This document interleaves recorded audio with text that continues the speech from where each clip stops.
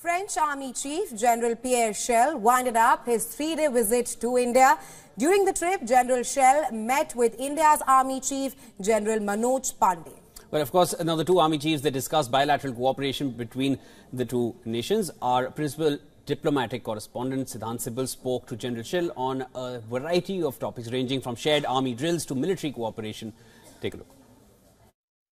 How do you see army to army engagement between the Indian army and the French army?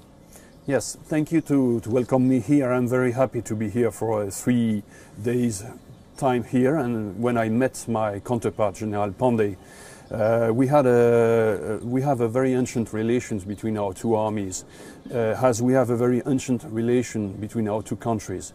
Uh, you mentioned the, the great honor of uh, the, the, welcoming of President Macron here for the Republic Day and uh, marching uh, French unit mm-hmm. in the opening of the of the parade this day, mm-hmm. and this is a sign of this uh, of those 25 years of strategic uh, relationship between our two countries. So as there is a relation at the strategic level, mm. there is a, uh, a, way to feed this uh, relation uh, at the army level. So the armed forces and the, the, relation between the two navy or air forces are well known, but there is also a, a very important relation between our two armies. Uh, what were the key focus areas when you held conversation with your Indian counterpart here in uh, Delhi?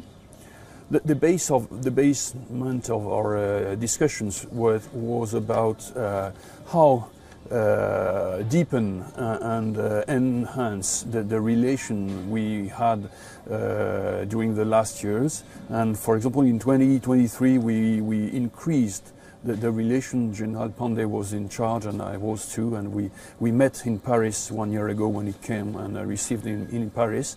So we decided to enhance the, this relation. So we, we did uh, some important uh, common activities in 2023, including uh, uh, French ex exercise.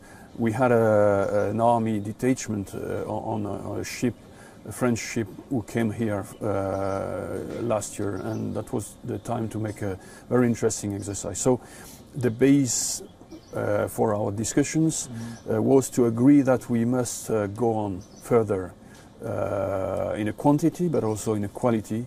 Uh, for the, some common exercise, some ex exchanges of staff members, and also some talks about doctrine or um, exchange of experience, uh, army experience.